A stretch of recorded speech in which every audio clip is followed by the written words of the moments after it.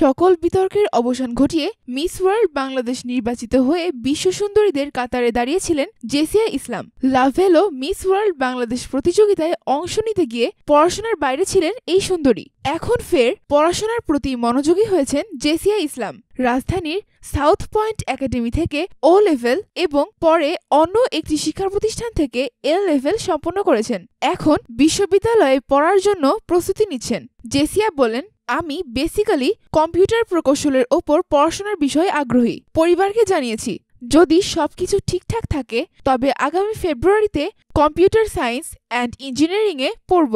জেসিয়া বলেন, এটাই চূড়ান্ত সিদ্ধান্ত নয়, সিদ্ধান্ত পরিবর্তন হতে পারে। পছন্দের আরও কিছু বিষয় রয়েছে, দেখা যাক। তবে আমার ইন্ডিপেন্ডেন্ট বিশ্ববিদ্যালয়ে পড়ার ইচ্ছা রয়েছে। পড়াশোনার পাশাপাশি সামাজিক কর্মকাণ্ডেও নিজেকে জড়াতে চান এই সুন্দরী। জেসিয়া বলেন এখন পর্যন্ত কোনো সোশ্যাল ওয়ার্কের সাথে নিজেকে ইনভলভ করিনি। তবে আমি প্রস্তুত আছি। হিউম্যানিটির জন্য যে কোনো ধরনের কাজ করতে চাই। সময় এবং সুযোগের অপেক্ষায় নিজের মূল কাজের বাইরে এসবে অংশ নিতে চাই। সবিজে কাজের বিষয়ে জেসিয়া বলেন, এখন পর্যন্ত কাজের বিষয়ে কোনো চূড়ান্ত আলাপ হয়নি। ফিল্মে কাজ করার ইচ্ছা আছে। বেসিক্যালি ফিল্মটাই আমার প্যাশনের জায়গা। চলচ্চিত্রের নায়িকা হিসেবে নিজেকে প্রতিষ্ঠিত করতে চাই। তবে ছোট পর্দার কাজেও আমার না নেই, কিন্তু শর্ত আছে। ছোট পর্দা, বড় পর্দা উভয় ক্ষেত্রে ভালো কাজ করতে চাই। কাজের মান থাকতে হবে কোয়ালিটিফুল কাজ করতে হবে।